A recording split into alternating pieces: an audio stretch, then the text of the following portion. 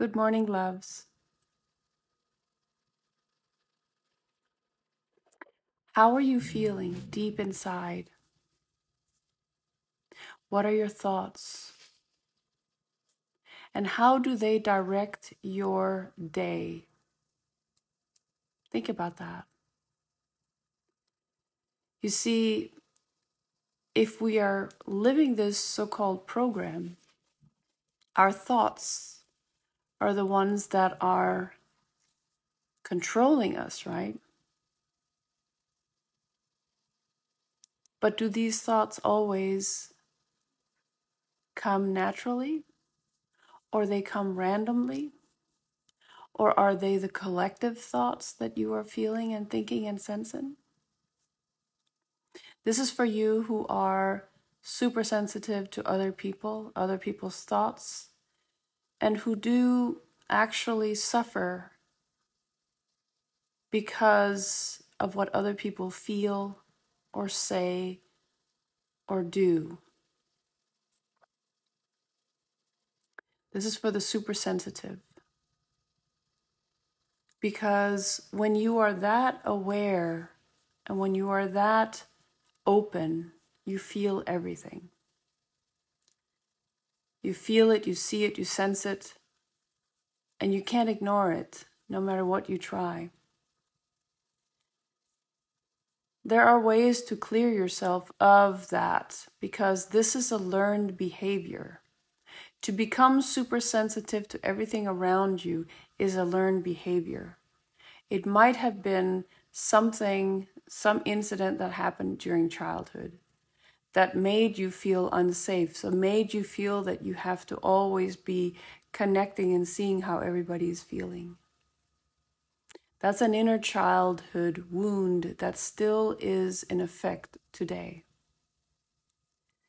Like many of you, including myself, that did experience some things in childhood that made you super sensitive. Sometimes it is hard to be close to a lot of people because you feel them. Sometimes it is it is it is hard to be in in um, in a place where where people are maybe negative looking negative at, at you or maybe you feel judged.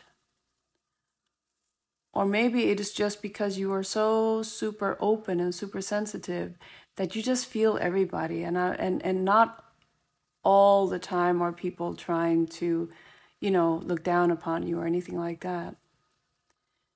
And the reason why I'm saying this is because in this day and age, when you look at the news, which I hope you don't, um, you feel the people. It's a, it's kind of like, um, it's kind of like plugging into a faulty electrical circuit and getting hurt that's what the news is for many people because it really isn't it, it is not reality. Many people think it is but it's not. So if you start feeling overwhelmed when you look at things like that stop. If you need to go out into your garden and, and put your hands down in the soil i would tell you take your shoes off and put your feet into the soil and let yourself let go of the charge that you have in your system that would help you in so many ways. So, my take is think of what it is that is running your system. If it is negative thoughts, if it is limiting beliefs, if it is the thoughts of I'm not good enough or I feel this or I feel that, that doesn't move you forward, then you know that you are repeating a cycle that you have repeated for a long, long time. And that's the time when you want to say, okay, I need to shift the way I deal with this. I need to shift the way I run my programs or run my day or start my day or finish my day. And to do that, I would suggest you look into my program. It's called Hypno Health and Wealth. It's about opening up to the wealth and the health, your, your, your own inner peace. It's about shifting your reality so that you are safe and you're in a safe place. So that you feel that you can create all what you have wanted to create on this planet.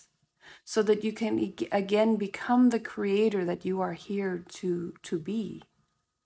You're not here to do, you're here to be.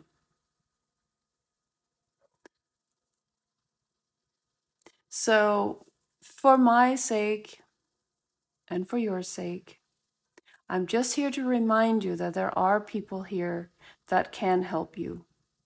There are ways of getting out of this mind prison, which it would be.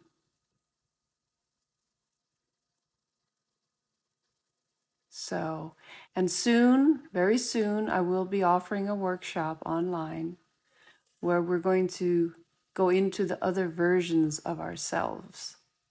So stay tuned with much love and light. Over and out.